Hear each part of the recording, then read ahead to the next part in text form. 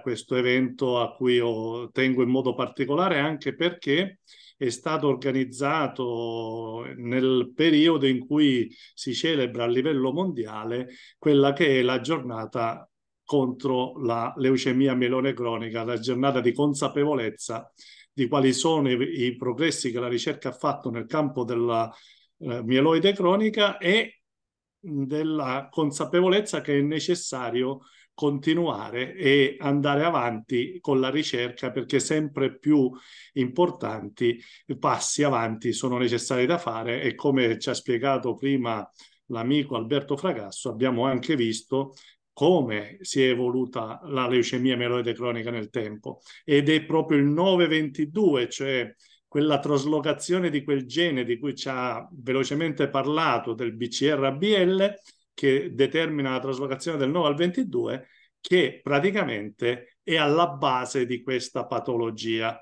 che eh, e quindi noi festeggiamo la giornata intorno alla data che richiama questo numero, 22 settembre e il 9-22 che vi dicevo prima. Ecco, allora, oggi, ripeto, celebriamo eh, la giornata mondiale della leucemia mieloide cronica e nello stesso tempo voglio uh, ricordare a tutti eh, che il gruppo nasce appunto il 16 ottobre del 2009, quindi fra qualche giorno il nostro gruppo pazienti compirà 14 anni. E ci siamo costituiti a Roma uh, alla presenza del professor Mandelli, abbiamo seglato un atto costitutivo e il nostro gruppo è GAP LMC. GAP in inglese sta per divario. Ecco, il nostro gruppo vuol colmare un divario fra quella che è una malattia e quella che è eh, la vita di tutti i giorni. Il logo che c'è qui sulla, sulla sinistra, in alto a sinistra, è il logo del nostro gruppo me, realizzato dalla moglie di uno di coloro che hanno fondato il gruppo e che abbiamo trasformato in la leucemia, la malattia curiamola insieme e l'MC è diventata la malattia curiamola insieme. E a differenza del logo di AIL che vedete in basso a, a, a destra nella slide, ci sono i due omini neri che prendono insieme si curano dell'omino rosso che è il malato, nel logo del gruppo pazienti i tre omini sono tre omini rossi, quindi sono appunto il significato che pazienti aiutano altri pazienti e quindi i gruppi sono formati essenzialmente ed esclusivamente da pazienti e caregiver. Caregiver è una parola un po' generica che però raccoglie l'amico, il familiare e tutti coloro che intorno col paziente vivono la malattia.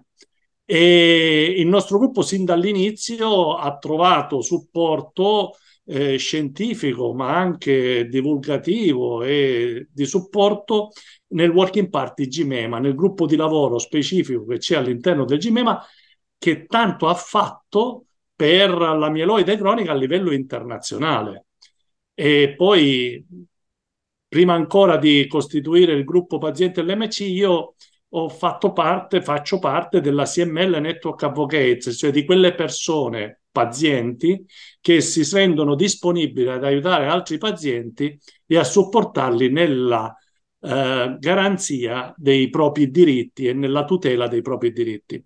E siamo anche membri come gruppo della European Cancer Patient Coalition, che è un gruppo di associazioni pazienti a livello europeo che interagisce con la Commissione europea per la modifica, la, dell'adeguamento della legislazione europea per quanto riguarda i diritti dei pazienti con cancro.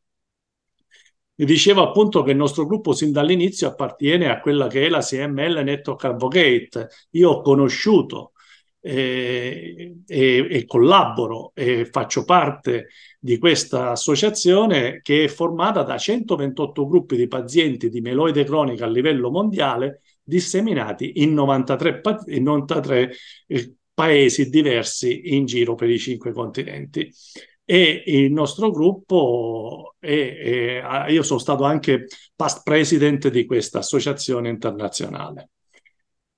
Come diceva Giuseppe, i gruppi pazienti eh, si adoperano già a partire dal 2009, eh, innanzitutto per attività educazionali come quella di oggi, dedicate ai pazienti e ai familiari.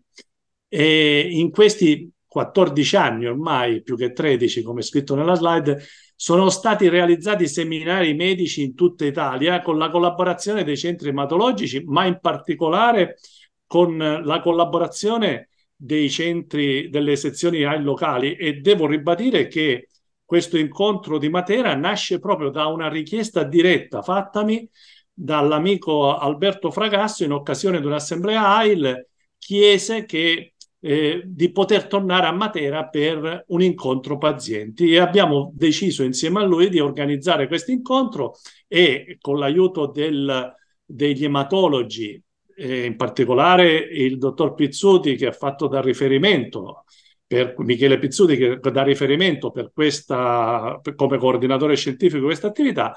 Ringrazio anche tutti gli ematologi che sono presenti e che ci aiuteranno a capire meglio la patologia. E tutto questo perché? Perché una malattia non deve interrompere una vita. Questo è stato sin dall'inizio. Nel 2009 non c'era certezza che la mieloide cronica fosse una malattia totalmente indirizzabile. C'era la eh, speranza che davano gli studi clinici, che dava l'evidenza della vita che tutti i giorni le persone riuscivano a superare questa malattia. Se torniamo un attimo indietro al 2000, quando il primo marzo del 2000 io ricevetti la diagnosi di una leucemia mieloide cronica, ricordo ancora oggi, e non, nessuno me lo potrà mai cancellare dalla mente, come eh, il medico, la dottoressa all'epoca, alle Molinette di Torino, mi disse eh, guardi, lei ha dai 3 ai 5 anni di vita. Avevo 41 anni, tre bambini piccoli, uno di 4, una di 8, l'altro di 10 e mi preoccupavo di loro. E con mia moglie cercammo di capire come poter gestire questa malattia. Lei all'epoca mi disse, ma allora la nostra vita insieme non ci sarà più, non avremo un futuro insieme. E io le dissi, Marisa, viviamo giorno per giorno, cerchiamo di capire e di vivere bene ogni giorno. Vedremo e tanto abbiamo una fortuna rispetto ad altri. Abbiamo, sappiamo che c'è un termine, mentre altri questo non lo hanno ancora materializzato. Quindi dobbiamo riuscire a vivere bene ciò che abbiamo davanti. Sarà un anno, dieci anni, ne sono passati ormai 23, quasi 24 e io sono in sospensione di terapia dal 2014, non assumo più farmaci per la mieloide cronica, la mieloide cronica non è più un problema per me, almeno fino a questo momento, e sto vivendo bene quello che ho continuato a lavorare, a vivere, eccetera.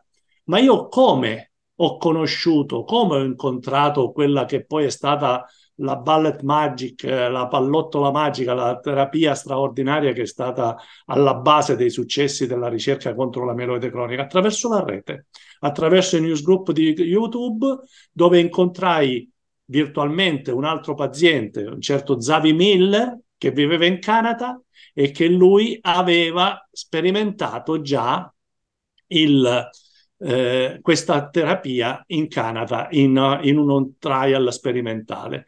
Zavi a livello mondiale si era messo a cercare di riunire insieme tutti i pazienti con mieloide cronica e cercava di dare conforto, aveva costituito un registro, un registro di coloro che raggiungevano la citogenetica. Oggi si parla di risposta molecolare profonda. All'epoca ci si accontentava di sapere che a livello di microscopio, a livello di citogenetica, di analisi citogenetica, non si rilevasse la malattia.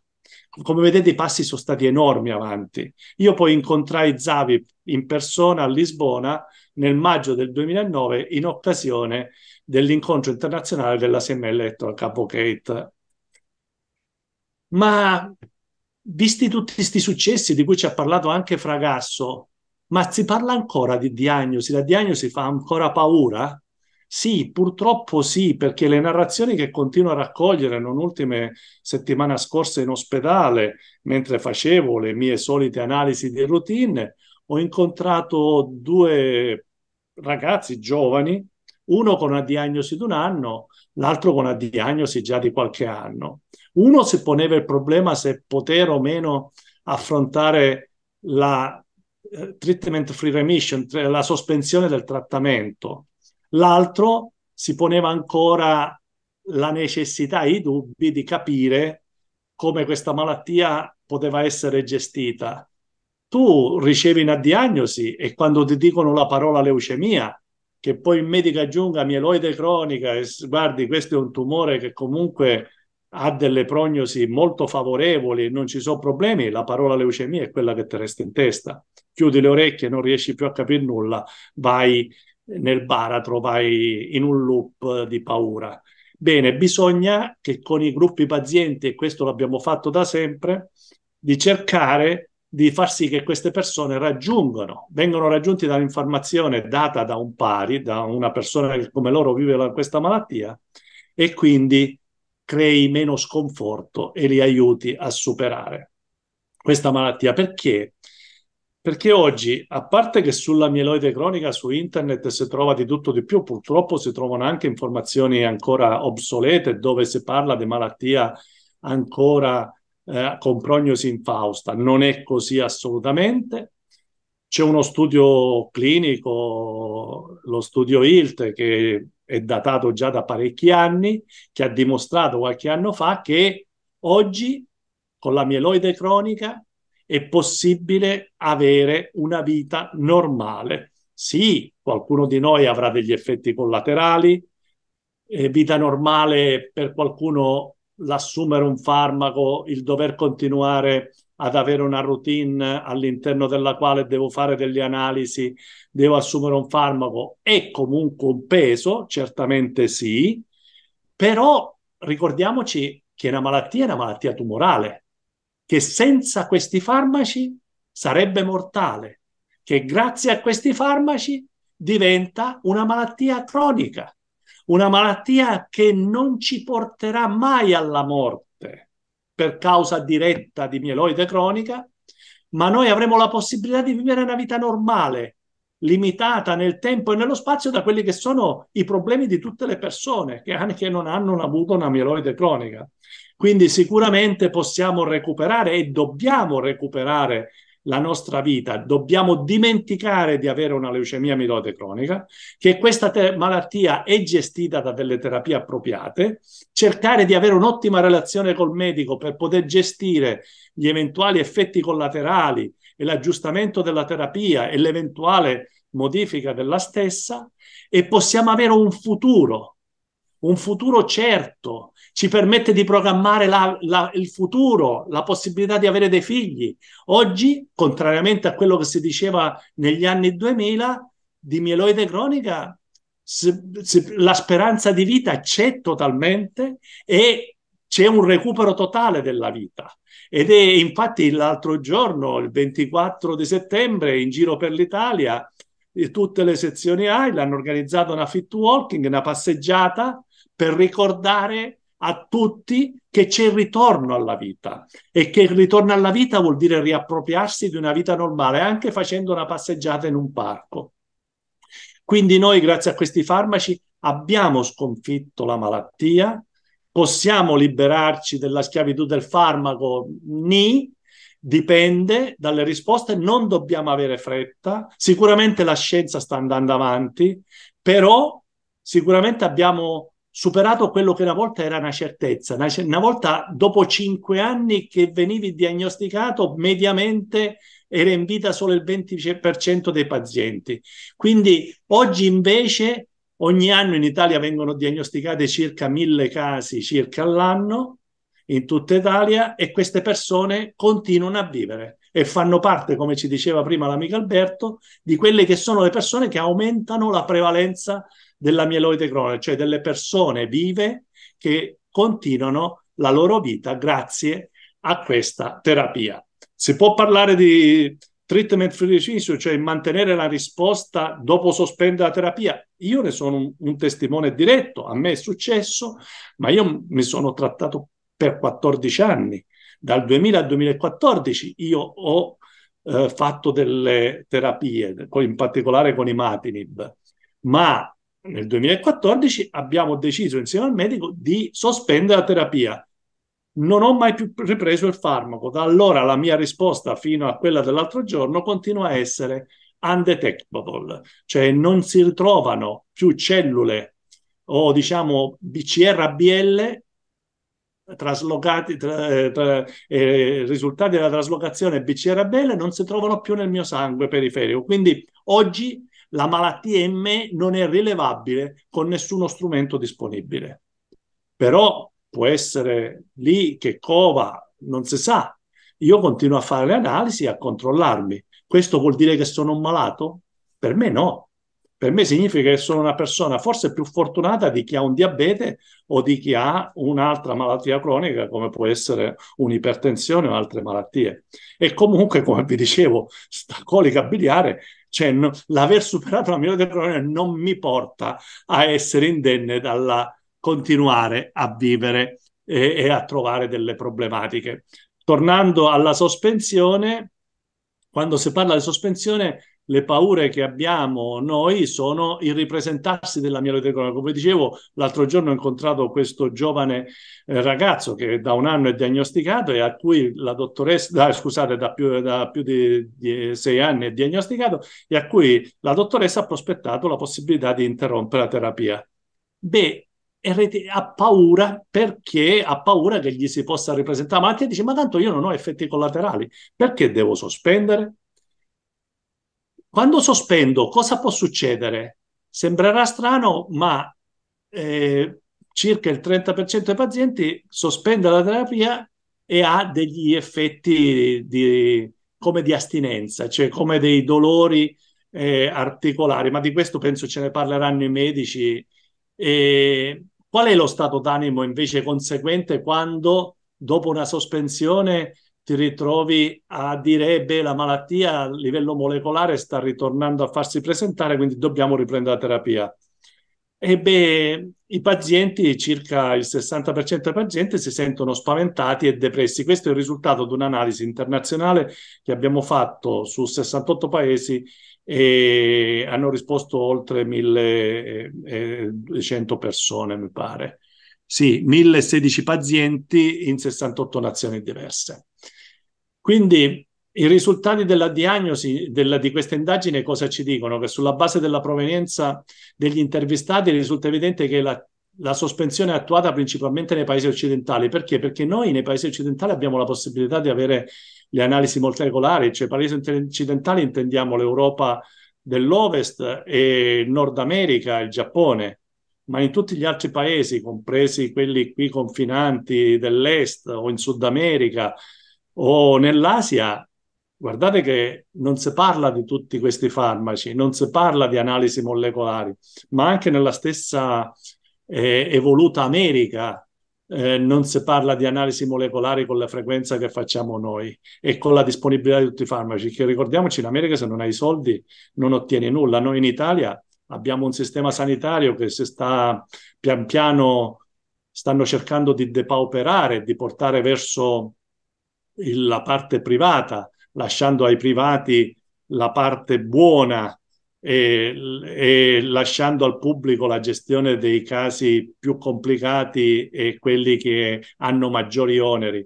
Quindi dobbiamo fare in modo che il nostro sistema sanitario, di cui ci lamentiamo spesso, in particolare al sud, eh, ci sono delle situazioni molto complicate, ma è, è, noi cittadini dobbiamo riprendere in mano il sistema sanitario e garantirlo, dobbiamo essere vigili, attenti nell'eleggere persone che si ha, abbiano a cuore e non depauperi quelli che sono e non distruggono il sistema sanitario nazionale e che permettano anche al sud di avere la stessa aspettativa di vita che hanno persone che vivono in altre regioni d'Italia. Questa difformità regionale che c'è in Italia è uno dei temi che come gruppi pazienti, come advocates, vogliamo tentare di sostenere.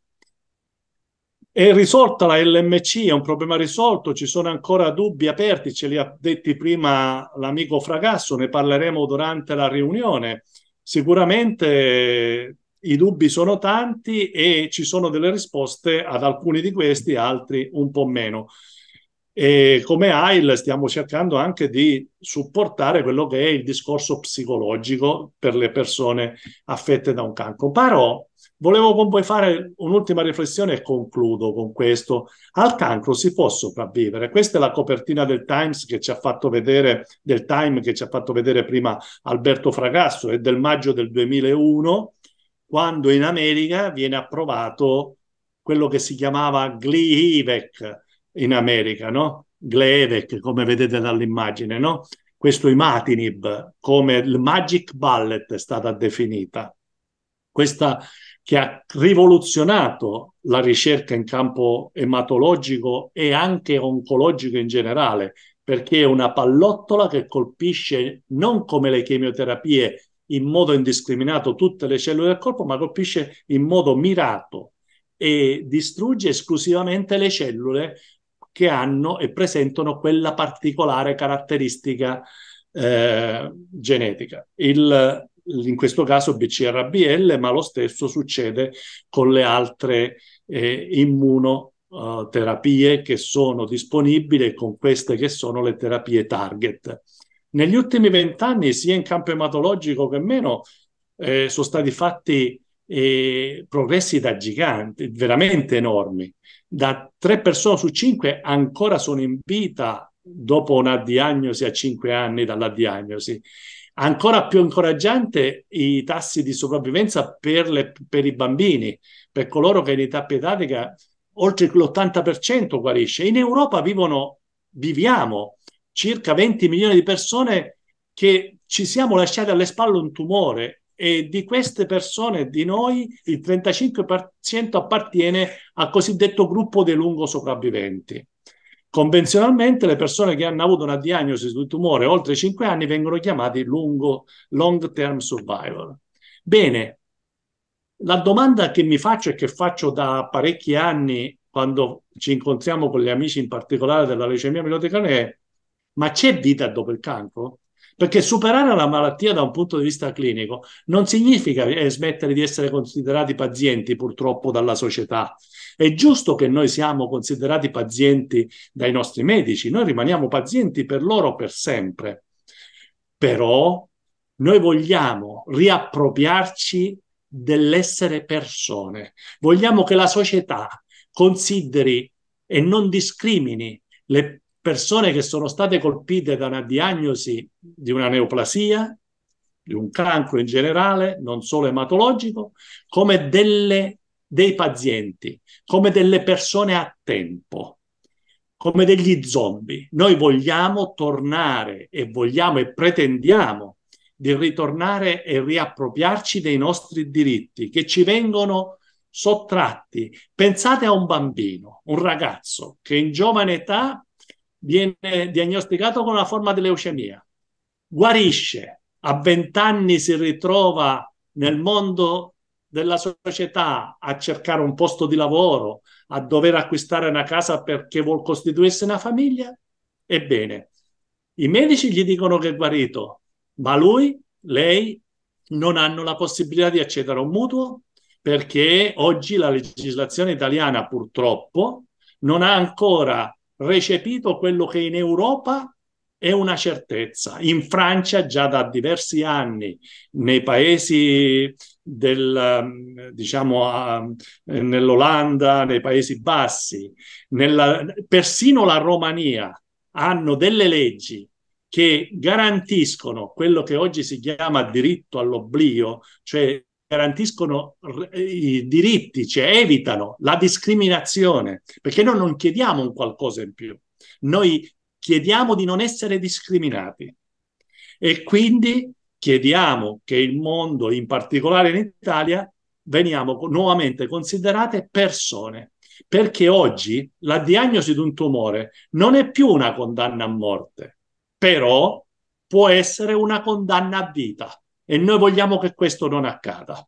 Ed è per questo che sosteniamo e chiediamo attraverso AIL il sostegno alla ricerca per chi ancora presenta la dichiarazione entro il 30 novembre, i liberi professionisti e coloro che, sono, che hanno ancora tempo per farlo, mettete il codice fiscale di AIL nella vostra dichiarazione di redditi, costa nulla, però fa sì che questi soldi poi vadano distribuiti alle 83 sezioni provinciali di cui è composta l'AIL, che tutti i giorni sono a fianco di noi pazienti, delle nostre famiglie e sono a fianco delle strutture ematologiche, fornendo borse di studio, case AIL, ospitalità, trasporto per le persone più fragili, per le persone che non voglio chiamare pazienti, ma delle persone che hanno incontrato nella loro vita un, un, la diagnosi di un tumore e con cui hanno ingaggiato una, diciamo, convivenza e, co- e che grazie ad AIL questa convivenza può essere più, diciamo, semplice, più eh, sostenibile. E con questo ringrazio tutti.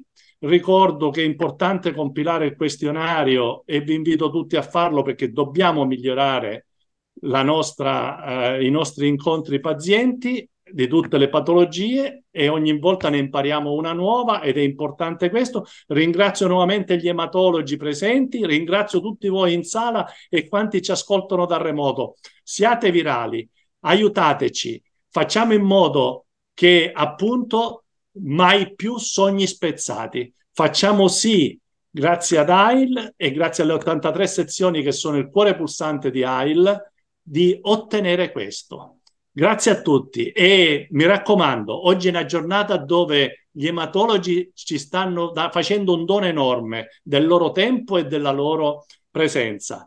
Usiamola. Abbiamo del tempo, in particolare nel question time, dove possiamo porre delle domande che spero siano numerose, dubbi che non dobbiamo portarci a casa, ma che oggi dobbiamo cercare di risolvere. Grazie ancora e scusate se non sono lì, ma mi sento veramente con voi. Un abbraccio a tutti.